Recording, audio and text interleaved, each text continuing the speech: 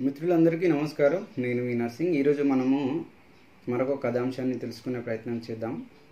ఈ కథాంశం కూడా భగవాన్ రమణులు చెప్పిన కథాంశంలోనిదే. అంతా రామేచ్ఛ. ఈ కథలో నేను సాలేవాని గురించి అంటే వీవర్స్ మగ్గం నేస్తారు కదా అతని గురించి కథాంశం ఉంటుంది. నేను సాలేవాడు అని చెప్పినప్పుడల్లా మగ్గం సాలె నేసేవారు అని అర్థం చేసుకోగల గలరని మనవి. ఒక ఊరిలో పుణ్యాత్ముడైన సాలెవాడొకడు ఉండేవాడు. వాని భక్తిని పవిత్ర హృదయాన్ని చూసి అందరూ అతన్ని చాలా ప్రేమించేవారు. అతడెప్పుడు అబద్ధాలు ఆడేవాడు కాదు. అందరిలోనూ నిజాన్ని పలికేవాడు. ఎంతటి ఆపదలో చిక్కుకున్నా సరే తుదకు ప్రాణానికి ముప్పు వచ్చినా సరే అతడు నిజాన్ని మాత్రమే చెప్పేవాడు. అందుకే ఆ ఊరి ప్రజలు అతన్ని అంతగా ప్రేమించేవారు మర్యాదగా చూసేవారు. ఆ సాలే తాను చేసిన వస్త్రములను అమ్ముకోవడానికై బజారుకు తీసుకెళ్ళేవాడు. బట్టలు కొనడానికి వచ్చిన వారు ఈ బట్ట వెల ఎంత? అని ప్రశ్నిస్తే రామేచ్ఛ వల్ల నూలు ఖరీదు ఒక రూపాయి. రామేచ్ఛ వల్ల కూలి పావల. రామేచ్ఛ వల్ల లాభము బేడ. రామేచ్ఛ వల్ల ఈ బట్ట ఖరీదు ఒక రూపాయి పది అనాలు అని బదులు చెప్పేవాడు. ఆ సాలే పలికే మాటలన్నీ అక్షరాల నిజమనే నిజమనే పూర్ణ విశ్వాసం జనులకు ఏర్పడింది. అందుకే వారేమియు మరుల పలుకక అతడు చెప్పిన ఖరీదు బట్టలను కొనుక్కొని వెళ్ళేవారు. ఈ సాలే నిజంగా గొప్ప భక్తుడు. సక్రమంగా డబ్బు సంపాదించుకుంటూ భగవంతుని మీద పూర్తిగా ఆధారపడి ఆయన ఎప్పుడు స్మరించుకుంటూ ధ్యానించుకుంటూ ఆయన పవిత్ర నామాన్ని జపించుకుంటూ కాలం గడిపేవాడు. భగవంతుని పవిత్ర నామాన్ని తరచూ రాత్రంతా జపించేవాడు.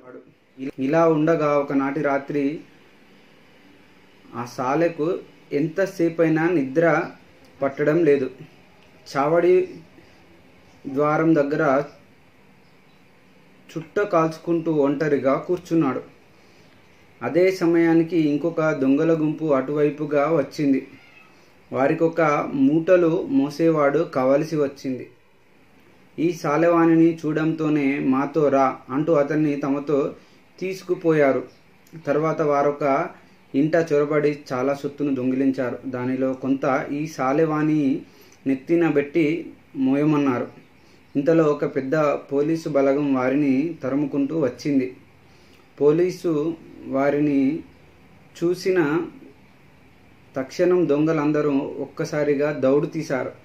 కానీ నెత్తిన దొంగిలించిన సొత్తును మోస్తున్న సాలెవాడు పట్టుబడ్డాడు. పోలీసులు అతడిని బందీగా చెరసాలకు తీసుకువెళ్ళారు. ఆ రాత్రి అతడు చెరసాలలోనే గడపవలసి వచ్చింది.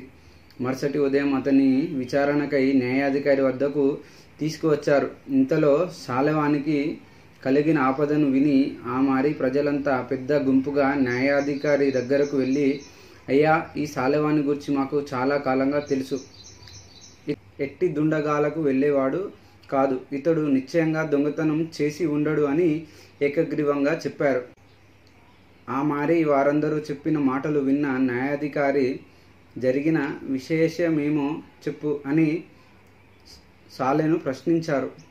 శాలవాడు ఇలా అన్నాడు అయ్యా రామేచ్చ వల్ల నేను చావడిలో కూర్చొని యుంటిని. రామేచ్చ వల్ల రాత్రి చాలా పొద్దుపోయింది. రామేచ్చ వల్ల నేను ధ్యానం చేస్తూ భగవంతుని పవిత్ర నామాన్ని స్మరిస్తూ ఉన్నాను. రామేచ్చ వల్ల దొంగలు ఆ వైపు వచ్చి నన్ను వారితో ఈడ్చుకుపోయారు. రామచ్చ వల్ల వారొక ఇంట కన్నం వేసి దొంగిలించిన సొత్తు కొంత మోయమని నా తలపై పెట్టారు. రామేచ్చ వల్ల పోలీసులు రావడంతోనే వారంతా పారిపోయారు. రామేచ్చ వల్ల పోలీసులు నన్ను పట్టుకొని చెరసాలలో ఉంచారు.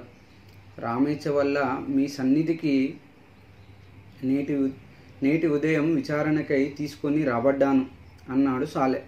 న్యాయాధిపతి సాలవాని నిష్కపటాన్ని పారమార్థిక చింతనము చూసి వెంటనే విడిచిపెట్టాడు.